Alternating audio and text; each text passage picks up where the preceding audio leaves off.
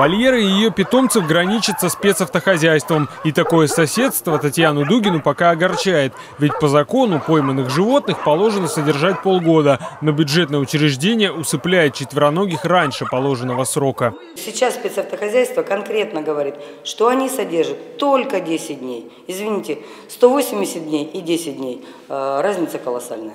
Татьяна, как и многие зоозащитники, приходит на комитеты горсовета десятый год. И пока обсуждения на тему бродячих собак превращаются в скупые бумажные выдержки. Последнее 505-е постановление, например, запрещает отлов стерилизованных собак. Но маркированных желтой клипсой животных, сетуют активисты, с улиц Омска будто похитили. Контролировать неразборчивое спецавтохозяйство трудно. Хотя бы потому, что войти, посмотреть, есть ли в вольерах потерявшиеся питомцы, запрещают.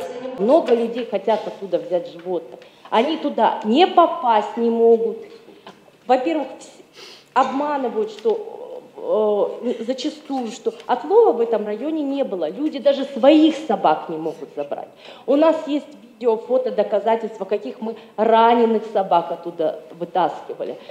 Скальпированных, потому что они сидят скоплено все. По 15, по 20 собак. Разгрузить приюты зоозащитники предлагают с помощью социальных сетей. Но человека, который бы размещал фото потерянных животных в интернете, у спецавтохозяйства нет. Зоозащитники считают, что изменить ситуацию могут частные приюты. Ведь пока финансовая нагрузка лежит на городском бюджете. На годовое содержание животных спецавтохозяйству требуется 70 миллионов рублей. Но бюджет выделяет только 2 миллиона. Впрочем, по мнению активистов, даже выделенные деньги собаколовы тратят негуманно. Живот животных умерщвляют запрещенными ядами. И мы не готовы финансировать убийство животных, то, что происходит сейчас, а там происходит именно убийство животных, жестоким, изощренным способом. Потому что дитилин, содержащие препараты, такие как аделин супер и так далее, они запрещены законодательно для убоя животных.